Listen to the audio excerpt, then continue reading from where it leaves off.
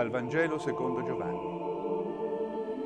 In quel tempo, quando la folla vide che Gesù non era più là e nemmeno i suoi discepoli, salì sulle barche e si diresse alla volta di Cafarnao alla ricerca di Gesù. Lo trovarono di là dal mare e gli dissero, Rabbi, quando sei venuto qua? Gesù rispose loro, In verità, in verità io vi dico, voi mi cercate non perché avete visto dei segni, ma perché avete mangiato di quei pani e vi siete saziati. Datevi da fare non per il cibo che non dura, ma per il cibo che rimane per la vita eterna e che il Figlio dell'uomo vi darà, perché su di lui il Padre, Dio, ha messo il suo sigillo. Gli dissero allora, che cosa dobbiamo compiere per fare le opere di Dio? Gesù rispose loro, questa è l'opera di Dio, che crediate in colui che egli ha mandato. Allora gli dissero, quale segno tu compi perché vediamo e ti crediamo? Quale opera fai? I nostri padri hanno mangiato la manna nel deserto, come sta scritto, diede loro da mangiare un pane dal cielo.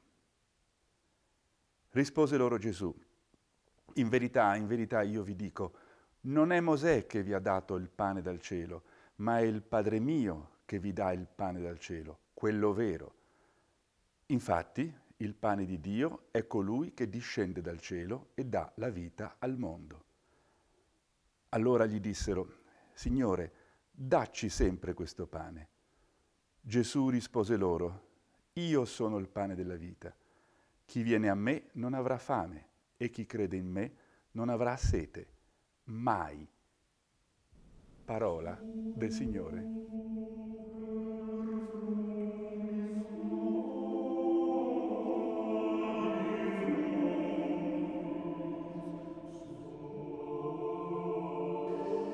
Siamo sempre nel Vangelo di Giovanni, nel grande racconto del capitolo 6. Dopo aver ascoltato eh, la, il racconto, la narrazione della moltiplicazione dei pani e della camminata di Gesù sulle acque, ora inizia il grande discorso sul pane di vita nella sinagoga di Cafarnao.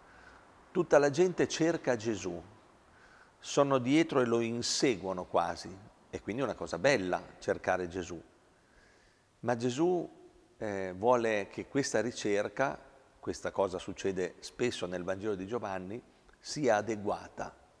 Non sia la ricerca solo di un taumaturgo, di un uomo capace di prodigi, eh, e allora Gesù orienta la ricerca della folla. Voi mi cercate non perché avete visto dei segni, ma perché vi siete saziati di quei pani, avete mangiato, vi siete fermati alla superficie, al primo passo, a quello di riempire la pancia, ma c'era ben di più in quel segno, come li chiama Giovanni, mai usa la parola miracolo, sempre segni, cioè bisogna proprio andare al di là del gesto per scoprire il vero significato. E allora ecco che Gesù inizia la sua catechesi per approfondire il senso di quel gesto, di quella moltiplicazione dei pani.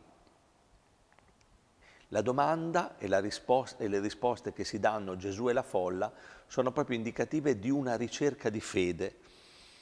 La folla gli dice che cosa dobbiamo compiere per fare le opere di Dio, cioè che cosa dobbiamo fare per essere graditi a Dio, per salvarci. È una impostazione tipicamente giudaica, per salvarsi bisogna osservare eh, i comandamenti di Dio. Gesù li porta più in profondità. C'è solo un'opera gradita a Dio, questa è l'opera di Dio, che crediate in colui che Egli ha mandato. Ecco, l'opera di Dio, cioè la strada della salvezza, è la fede in colui che Dio ha mandato. E qui parte tutta la eh, ricerca proprio sul segno dei pani. La folla dice i nostri padri hanno mangiato la manna nel deserto e tu che segno fai? Ecco, e Gesù allora approfondisce ancora, non è Mosè che vi ha dato il pane dal cielo, ma è il Padre mio colui che vi dà il pane dal cielo, quello vero. che è colui che discende dal cielo e dà la vita al mondo. Ecco qui un primo centro di rivelazione fortissimo. La fame dell'uomo non è solo quella di cibo.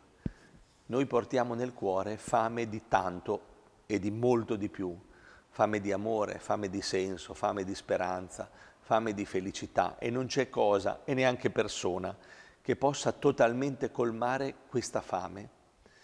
Siamo sempre alla ricerca di un di più, di stare meglio, di essere felici, di, essere, di avere il cuore che canta e non c'è cosa materiale e neanche relazione umana, anche se chiaramente sono queste le cose più belle della vita, le relazioni, relazioni di amore e di amicizia, ecco, ma neppure quelle a un certo punto ci bastano, perché il nostro cuore, come dice Agostino, è fatto sulla misura di Dio.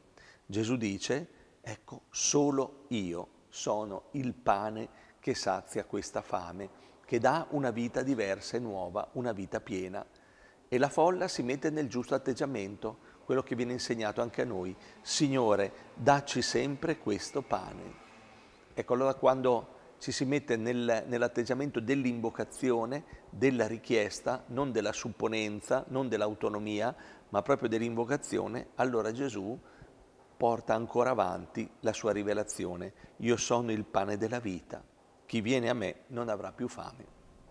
Signore, dacci sempre di questo pane che sei tu.